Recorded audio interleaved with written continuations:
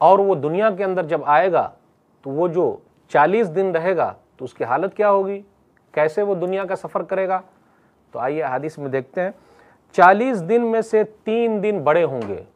चालीस दिन में से तीन दिन बड़े होंगे और सैंतीस दिन, थर्टी सेवन दिन जो है, आम दिनों की तरह होंगे। तीन दिन जो बड़े होंगे, वो कैसे बड़े होंगे तीन दिन? सही मुस्लिम, किताबुल फितन, किताब नंबर बावन, हदीस नंबर दो हज़ार नौ सौ सैंतीस, टू नाइन थ्री सेवन नवास बिन समान रज़ी अल्लाह तु बयान फरमाते हैं कि नबी सल्लल्लाहु अलैहि वसल्लम ने फरमाया कि दज्जाल चालीस दिन ज़मीन में रहेगा।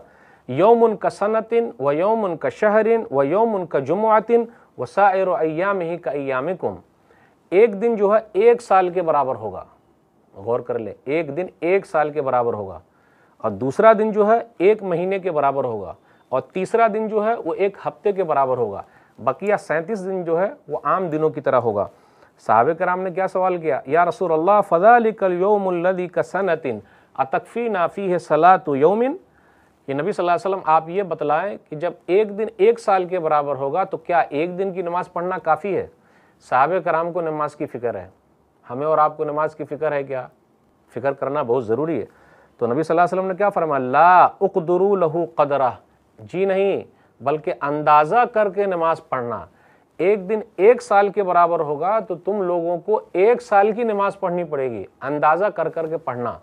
तो यही हदीस दलील है, उस मुल्क के लिए भी, जिस मुल्क में दिन और रात छः छः महीने का हो रहा है तो आप रोज़ा कैसे रखेंगे? इफ्तारी कैसे करेंगे? शहरी कैसे खाएँगे? तो अंदाज़ा करके करना है। अंदाज़ा लगाना है, या बाजू वाले मुल्क का देखना है। तो नबी सल्लल्लाहु अलैहि वसल्लम ने यह फरमाया कि वो एक दिन जो एक साल के बराबर होगा तो ऐसा नहीं कि सिर्फ़ एक दिन की नमाज़ पढ़ लो तो हो जाएगा। नहीं, एक साल की नमाज़ पढ़नी पड़ेगी। ऐसे ही और वीडियोस बनाने में हमारी मदद करें।